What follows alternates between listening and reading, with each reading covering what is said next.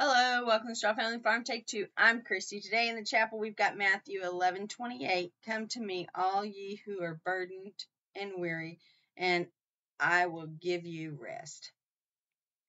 Yeah. It is what it is. A lot of those have been coming up here lately and about burden and weary and rest and yeah, that's me. I need that. All right. So last week was horrible, horrible. Um, we had a, a fraud that was attempted at the bank.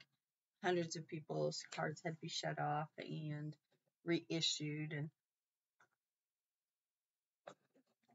people were just generally mad that it happened. Um, and of course, you just kill the messenger. Of course, that's the way it works. I'm the lady that answers the phone, so I get blasted every time.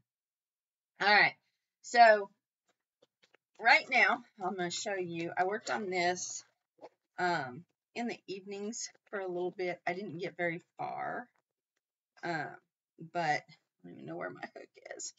That's okay. But I do have both sleeves done, um, and this is the uh, wrap that, you know, is a shirt, I guess. You wrap it around twice. Um, a sleeved sleeved scarf. And so I have started on the yellow. I'm doing it twice as thick.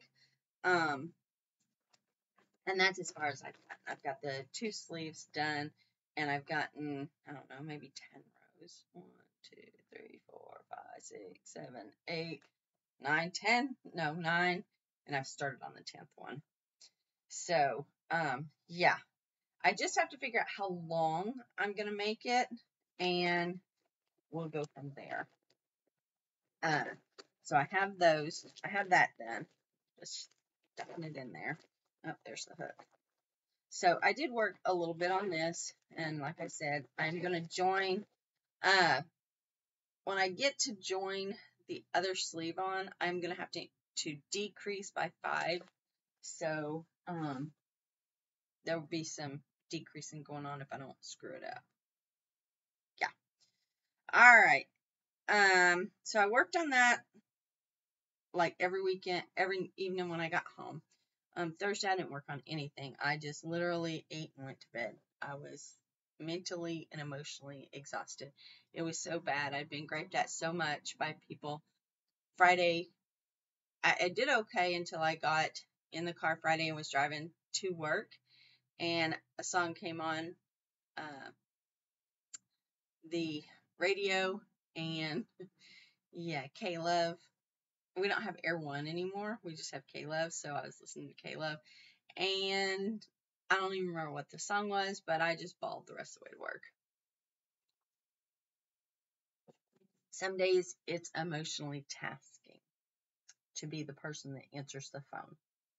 And when everyone is angry on the other end of that phone, yeah, it's really taxing. So, yeah. All right. Um, I did do some sewing. Uh, let's start with the obvious. I am up to row seven. Okay. And you can see it's the fish one. I got the gray one. I don't know where I was at when I did it. This is the little cowboy one. Um, I've got the sheep one. That was four. Chicken is three. I know I've showed you those before, but I'm up to seven. I have the eighth one laid out. I just don't have it sewed together yet. So I have those done. Okay. All right. Then I uh, finished the pillow shams that goes with that. And I am super proud of them. I don't have the KAM snaps on yet, but I'm going to get them that way. Um, I just have to get them. For the little flap, because it's a pillow and it's so long, I like to have it so that it'll snap down. And I will just put a couple of KAM snaps on there. But check this out. I quilted the inside right here. I did not, because it's RJ, I didn't change my thread. I was going to change it to black, but the pillows are going to have this on it. It'll be black when I do the, um, what do you call it? The comforter, quilt, whatever. It will be black, but for these, I didn't feel like changing it. So, yeah, they're white. But I did do some stitching, um, some quilting. There is one small piece of batting. I found it and I thought, oh, it'll give it a little texture and actually make it good. I didn't plan on quilting them, but stash busting. And I literally had enough to do the two pillows. And they're a little short, so it only goes over to here. Okay, but there's a stitch right here and there's a stitch right here.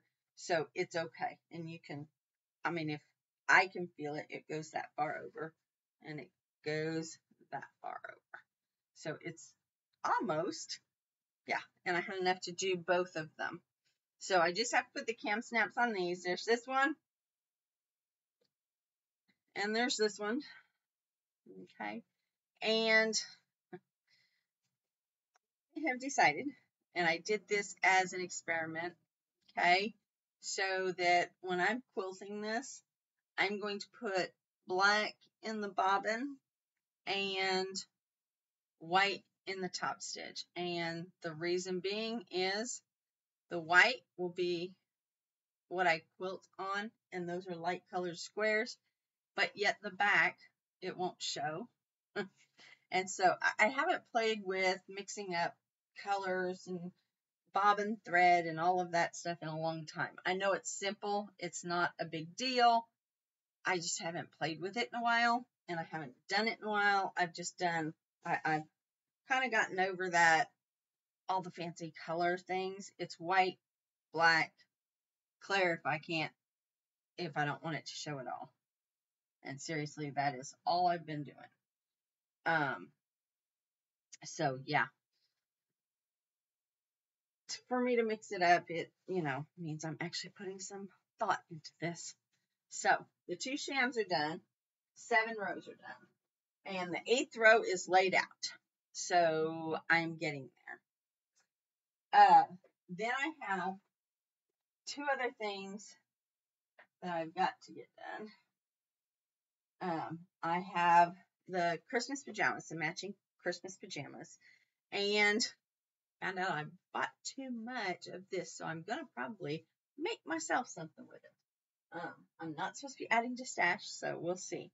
Uh, but these girls are smaller, so um, these are the two sisters that need to match.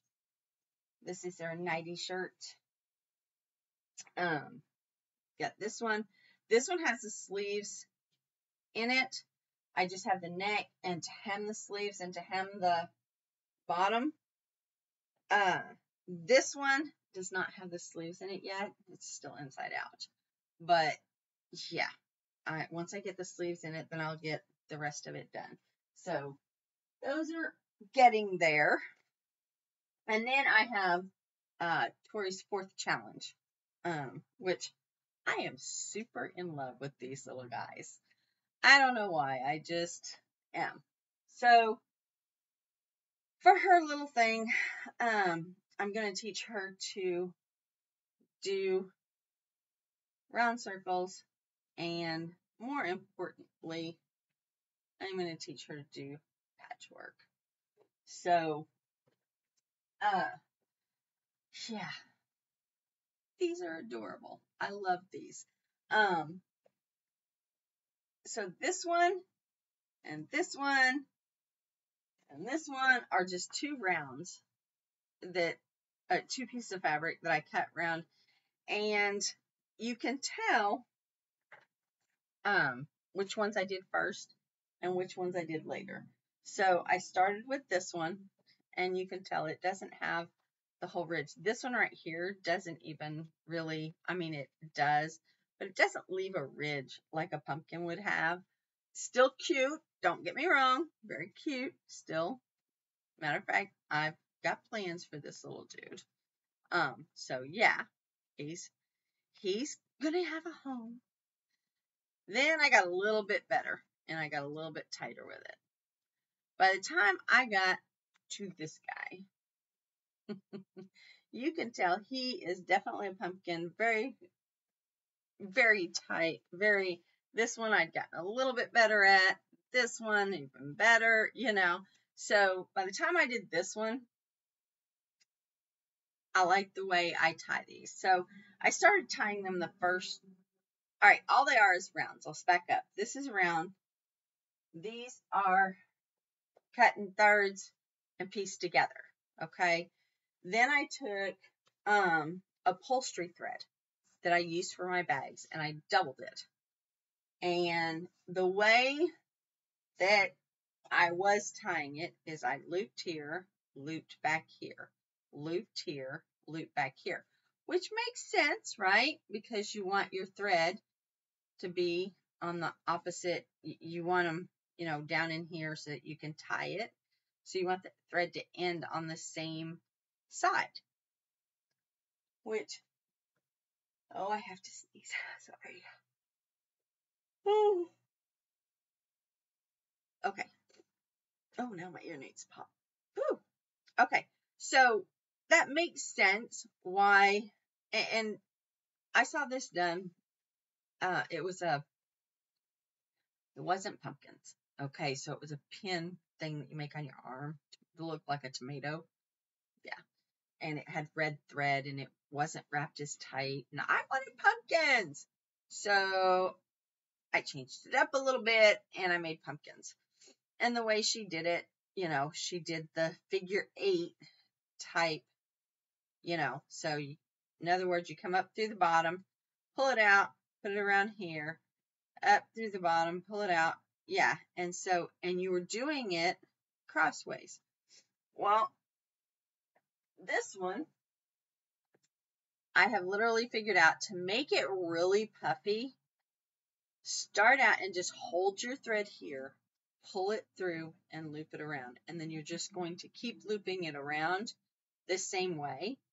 And when you get six of them, which is what looks good, uh, I tried a seven and it looked too crowded and too, yeah. So, um, eight I couldn't fit in and five looked like it needed another one. So six is what it comes out to.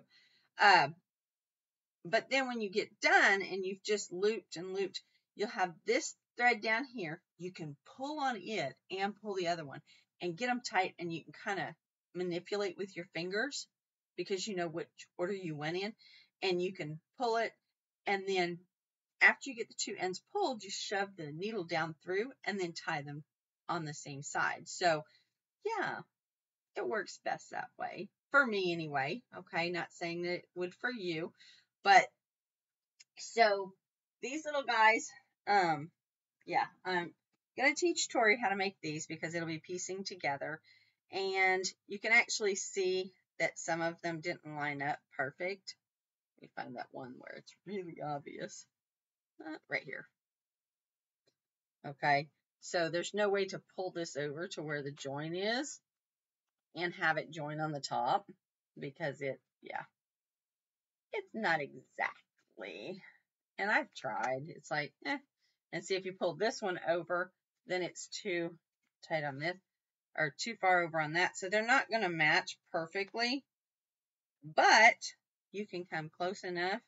And with these, uh, the thread on there, making it bubbly, it looks really good. So these are going to go to some friends. I'm taking some up to my office and yeah. I'm going to give them away at the office. I've still got um, six. I've got the ones to do for the actual video. And I've still got one small one that is like this that I haven't sewed together. So I cut um, three small ones. The three that I'm getting ready to do are the three big ones like this with this design. So they're going to be pieced together, but big ones. So yeah, I'll have the three little ones and the three big ones that all look like this. And then I'll have one big one of each of the ones. And then I'll see how I want to cluster them or what I want to use at the office. And then I'm going to give the rest away at the office. I'm just having a lot of fun making them. They're adorable and super easy. So anyway, um, I do have to order propane for the farm and here. And uh, yeah, I talked to RJ this morning. He's doing really good. Um, now that his father has a better job, money's getting a little bit better. So I'm hoping that maybe this year, Christmas, I won't have so much grocery bill to pay for him. we will see. Um, things like the propane bill and groceries and feed bill, I've always helped him work on. So as soon as he can get to where he can do those, um, yeah, then we'll be good. So he's working on it, and his dad, you know, I think part of it was is this summer his father figured out that RJ was paying more bills than his father was, and his father was like, "What? No, I pay the bills around here." No, he didn't make enough to pay the bills, and RJ and I had always taken care of that. So, yeah, we'll just leave it at that. Hopefully, he'll now that he's got a better job, hopefully it'll get a little bit better. So, and they just got done with haying season. RJ said it was the same fight with his father. Um, and he said, Mom, nothing new. Um, he literally had to walk away at one point because his father just got uh, his father doesn't service anything and he doesn't think anything through. He just wants to jump on the tractor and go. Well, he hasn't serviced the tractor, so it didn't want to work right. He hasn't serviced the baler, so it didn't want to work right. And his answer is to go and instead of servicing the one that we have, oh, he'll just go borrow somebody else's. And it's like, no, service that one and get it running and take care of it. But he doesn't. It's always the best years that we had with hay. I serviced, I went out and did, I raked, I cut, I raked, I baled, and I hauled. All of it. And he didn't do any of it. And those were the best years. Other than that, it was always a fight with him. So, anyway, I'm going to get off of here. I think that's all I've got. I've got the, I'm going to um, probably tomorrow make the how-to video for Tori's Challenge 4 for making these little pumpkins. But remember, I'm going to make the this way, but they're going to be this size. And I'll show you how to make different sizes. I'll show you how I did. Um, let's rephrase that because I'll show you how I did. And remember, this is a pin cushion um pattern, just kind of revamped because I don't know. I saw it and it was really cute, and I was like, oh, remember those my granny one, and I was like, oh, but that could be. And so, yeah, um, it is what it is. and I'm sure you guys remember those round pin cushions that every granny had, and they were, I want to say they were made of red felt and then wrapped with the red string. And this lady was making one, and it was super cute. But I don't need a pin cushion. I have my own thing. Um, and honestly, I thought if I'm gonna have a pin cushion, I'm gonna have one of the wrist ones because I'm always putting pins in my mouth. But now I have my clips, so I do it a lot less. Although I found for quilting, those clips don't work at all. That's another story. That was with the things. But anyway, so I'm going to get off of here. I am going to make the how-tos on my little favorite pumpkins.